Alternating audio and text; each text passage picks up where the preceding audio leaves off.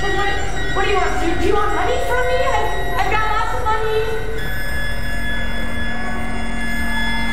I can get you jewelry. My, my parents have lots of jewelry.